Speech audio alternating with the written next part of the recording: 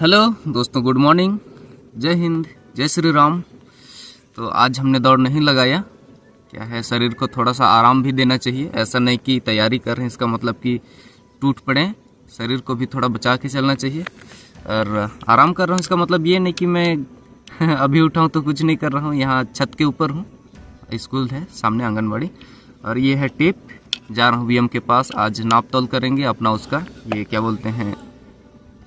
आ, लंबी लंबी कूद का ऊँची कूद का और गोला फेंक का पहला पार्ट वीडियो लगा दिया हूँ उसमें फुल डिटेल में बता दिया गया है कि कितना फेंकेंगे तो कितना नंबर मिलेगा।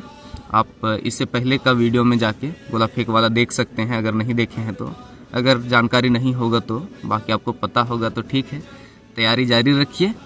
और ये नहीं कि आज आराम कर रहा हूँ कुछ नहीं करूँ भाई कुछ नहीं करने की जगह मैं कुछ तो कर लेता हूँ। और आप में से कोई अगर कुछ नहीं कर रहा है तो भाई कुछ कर लो। थोड़ा सा इतना सा, क्या है? एक पॉइंट आदमी को कितने आदमी लोग के ऊपर ले जाता है ना, पता होगा।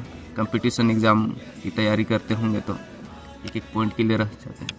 क्या है, मैं भी एस एस का दो बार फाइनल मेरिट लिस्ट से बाहर रहा और तीसरी बार मैं कॉलेज पे फाइनल ईयर पे था। तो ध्यान नहीं दिया, बाकी बिना पढ़े फ़िज़िकल देने पाया था मेडिकल नहीं देने पाया, अभी वाला, इससे ये वैकेंसी से पहले वाला का तो भाई, अभी ये सिर पर एस एस का एग्ज़ाम भी है, और अपना सीजी पुलिस का वैकेंसी तो मुझे लगता है एस एस में कट ऑफ़ कम ही जाएगा, क्योंकि सारा ध्यान क्या इसी में है अभी सीजी पुलिस में।